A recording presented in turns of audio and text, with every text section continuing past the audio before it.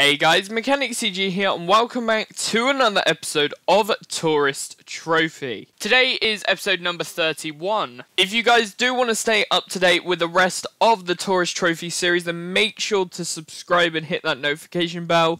And make sure to check out the links in the description for our socials. We've got Instagram, Discord, and Twitter. But hopefully you guys do enjoy today's video. Right, so welcome to Apricot Hill Raceway. This is going to be a very nice track. This is the uh, second longest track, I think, uh, as of lap times in this championship. Very nice. Very good corners here. We are at 30 points so far, so uh, the rules are now we can come second in the next two races and we will still win, guaranteed. Um, but if we come third, we have to come I think we can come third and third. And we'll be level. But if we come second, we have to come... Uh, if we come third, we preferably would want to come first. Again.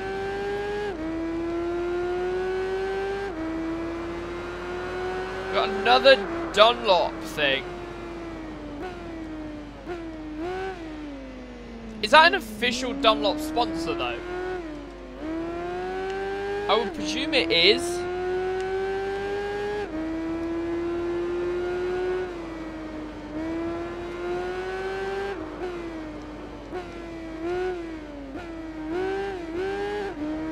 Awesome. Oh, that was very bad. Very bad corner there. In fact, this lap time is much quicker than I was expecting.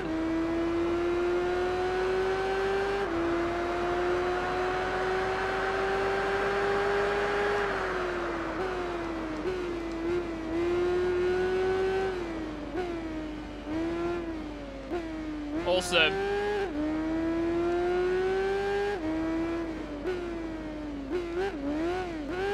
Oh, careful. Perfect.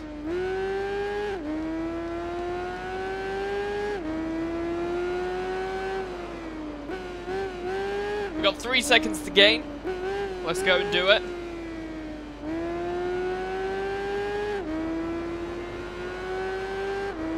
Perfect.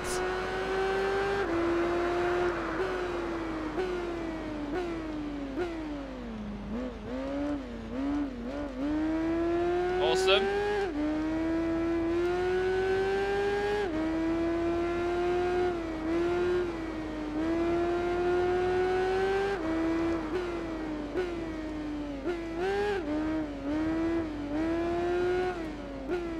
Nice.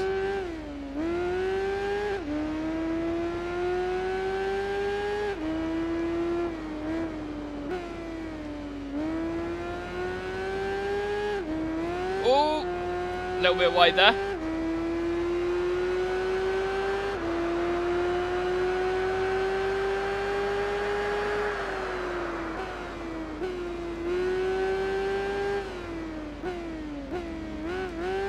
Nice.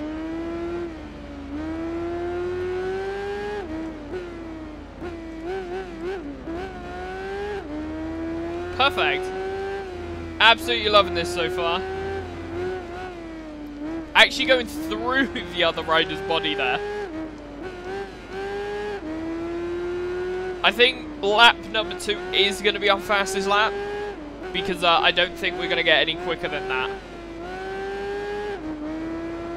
If we do, that would be impressive.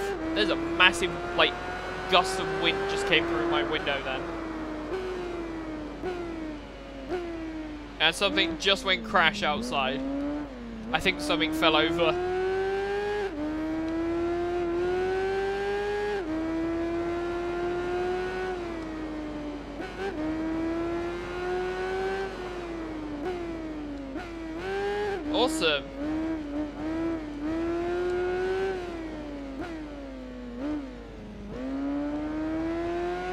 very good through the chicane there. We're going to have ourselves two more laps.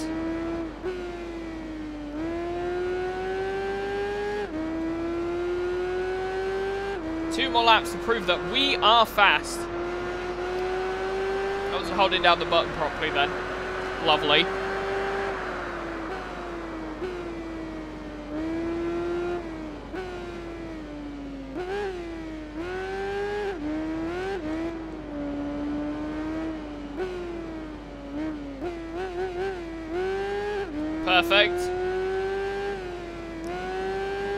Other Superbike is insanely quick for this series.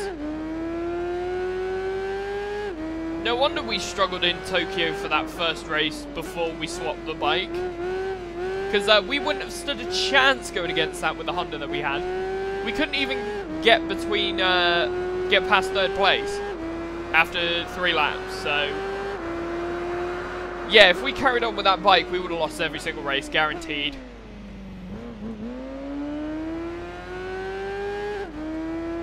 Rear tyres are starting to go yellow. So uh, we're looking at some fairly substantial tyre wear. I think as well at the end of this, we're going to uh, customize our rider again. Give him a new, fresh set of clothes.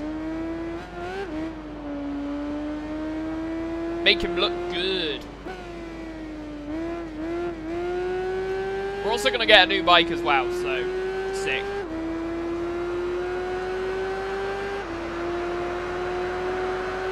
Meow, meow. Little bit of weaving. Why not? Oh! Nice recovery there.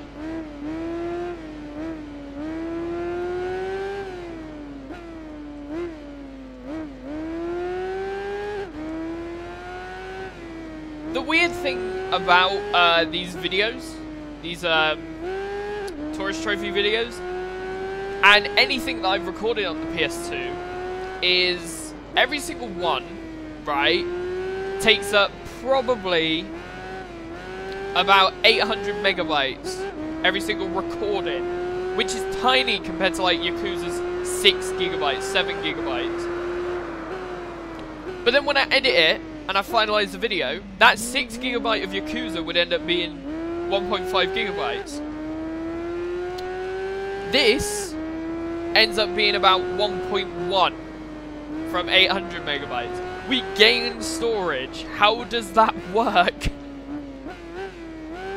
We lose it with Yakuza, but we gain it with Tourist Trophy. Huh? My brain exactly, just like, no. Too much to handle, kaboom.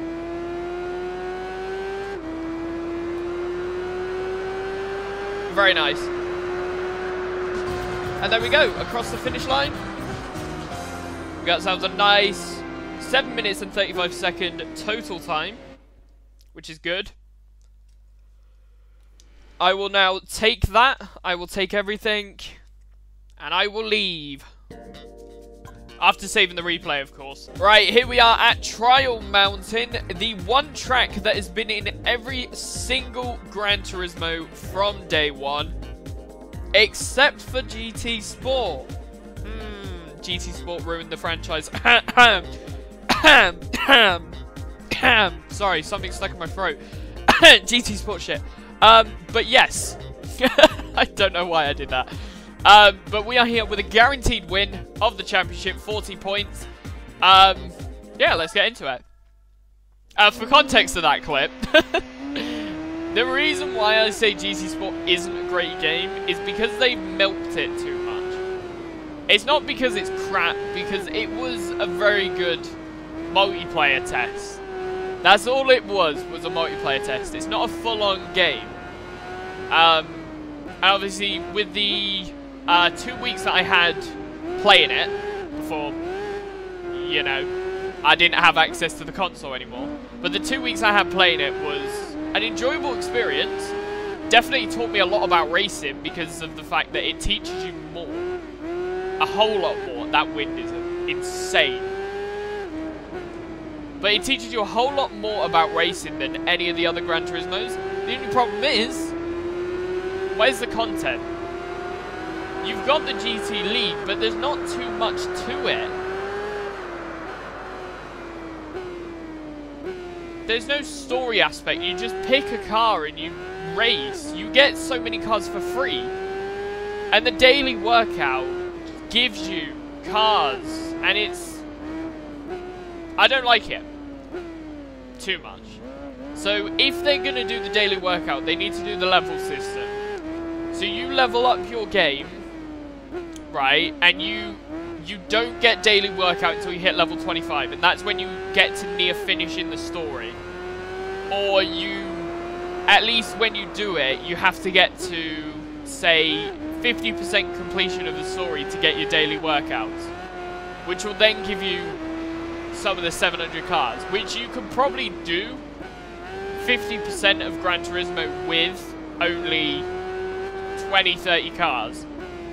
So it's not like it's going to be pointless because there's going to be thousands of cars in that game. They're going to have to, otherwise no one's going to buy it. Forza has nearly a thousand cars in it, Horizon now. Forza Horizon has over 800, easy. So it needs to beat that. And bearing in mind, Gran Turismo 5 had in the thousands of cars, they're going to have to do it as well in GT7 with more and more. Obviously, they're adding more quality cars, but they still need that quantity. They still need all those old cars still there. You get rid of them, what's the point? That is my daily GT7 run, or GT Sport run. I mean, to see as well only, what? How many, how many cars are there in GT Sport? I think there was only like a hundred odd or something. And they're all racing cars, yes, so that obviously proves there's going to be a lot of racing cars in GT7. Uh, something that was quite clearly missing. So hopefully we can see a lot of like GT3 events, GT4, GT2, GT1, Group X, stuff like that, insane events. And the one thing I do like about Gran Turismo Sport is the length of the GT League. There was... The format of it and the way you unlock it was a bit crap. It wasn't ideal. Because of the fact that you could just go do your track experience and you were already at level 20, like the maximum level, whatever it was. But if you do um, you get obviously your cars with your licenses, with your track experience. I, I would like to see track experience come back. That would be amazing. Um, but to see all that would be insane. And then also um, having the length of the races. Because each race was actually a decent length. It wasn't like a three minute sprint race like every single race in Gran Turismo 6 was. They were longer races. And if they make the amount of races that they had, but like five or six laps for most of them, like this game, we could be looking on a massive game with so much content. And there is so much potential. And all they have to do is change a number from 3 to 5 which I think they did that with GT Sport to make it bigger. But um, they did it a bit too much. Some of the races were a bit too long. But they just need to find that right balance of length, content, and all that stuff. And they could have themselves a banging game. And at time of recording, still nothing about Gran Turismo or um, PS5 reveal, so this is obviously, we might know what's going to happen by now. It might be released by now, who knows?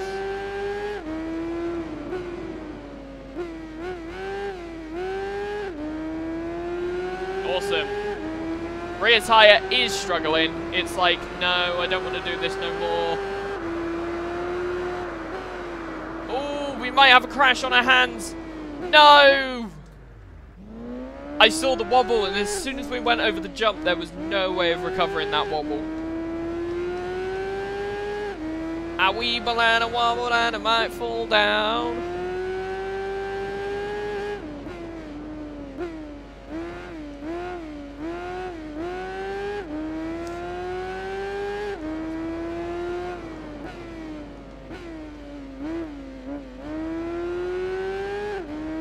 Awesome.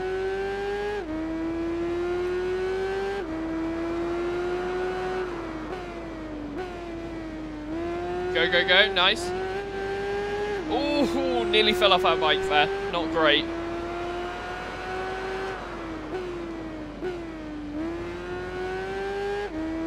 Okay, so the rear tyres are crying out for help right now.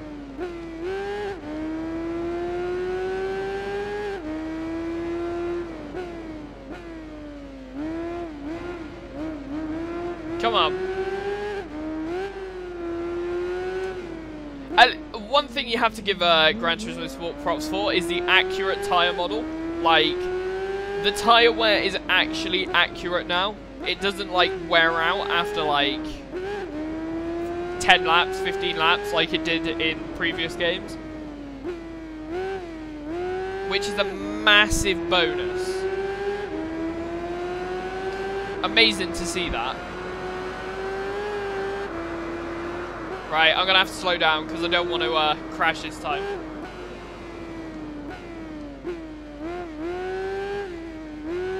Awesome. Oh, close.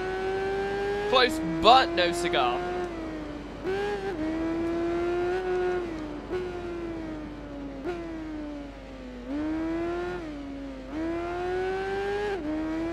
Nice.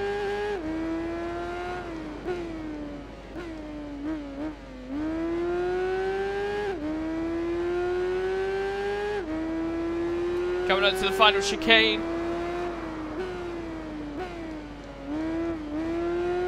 There we go. Oh. Much slower lap time there. 141.2. Okay. Interesting. That was very decent though. Very decent. And there we go. We have 50 points. We have passed this championship. Epic. Let's go see what rewards we got. And here we go. We got ourselves some riding gear. We got the Arai... Arai RX-7 double R4 one to be. What, what, there, there, whatever. There's a massive bang outside my window. And we got a Yoshimura this is a new brand we have not seen yet. And that looks awesome. I want to see if I can take that for the next one. That is really cool. And we got ourselves a special racing number for the BMW bike. The number one. Very nice. Uh, so what is the next championship going to be? That is going to be the heavyweight series. Okay, cool. Nice. Um, Let's go take a look at new stuff, because we've gotten quite a lot of riding gear in the past few episodes. So uh, let's go get ourselves kitted out with something new. It's mostly going to be a new helmet, but uh, let's see if we've got some nice designs for it. I do like that one. That would be nice with, like, the green. Oh, we've had that before, actually, because I remember it looking like a frog. It does look like a frog. That's nice. That's not so nice. Yeah, I definitely feel like I want to take the red bomb here. Uh, let's cancel that for now, because uh, we need to go get red everything. Red Alpinestars. Look at that. That is a good outfit. Very nice. Let's save that. Go back to the menu, and there's our helmet. Very nice. So thank you guys so much for watching. If you did enjoy, be sure to leave a like, comment down below and subscribe. If you want to help support the channel, then make sure to hit that join button or hit that merch link in the description. And don't forget to check out the description for our social links. We have Instagram, Discord, and Twitter. But thank you guys so much for watching, and I'll see you in the next one. Goodbye.